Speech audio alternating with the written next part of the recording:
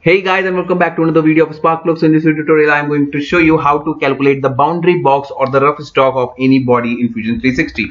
Basically those who are familiar with the machining and all they might be familiar with the term rough stock or the boundary box. Basically it, it's the minimum or the least outer body that would be required to be engraved to cut that piece out. So let's get the quick way but go to modify and there's an option called simplify. For those of you uh, uh, who, who don't have this option in called simplify in your modify panel just go through go to preferences on the right click on the your display picture here and go to preferences. And if I just go to design there's an option called enable arrange and simplify tools so just click on this and apply and press ok. Now you will be find able to find the simplify tool.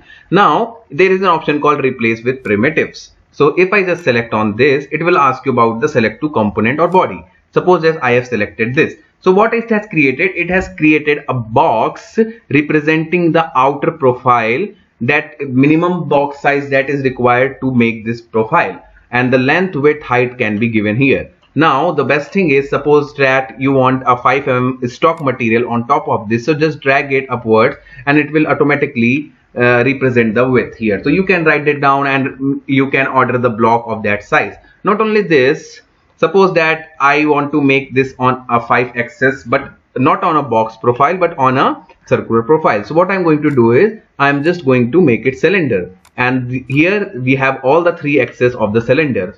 Let's say it x-axis like this and let's say most level will be the z-axis and the dia and the length the radius and the length of the rod that is required minimum dia is required to uh, will be shown here. So this is how you calculate the rough stock. Let me just calculate the sphere also. So I don't think that many of you will like uh, um, use the sphere the box and cylinder are the most useful command. So uh, this comes in handy when you are doing the machining and stuff. So hope you guys will enjoy. Do comment any queries and don't forget to share and subscribe. Thank you and have a nice day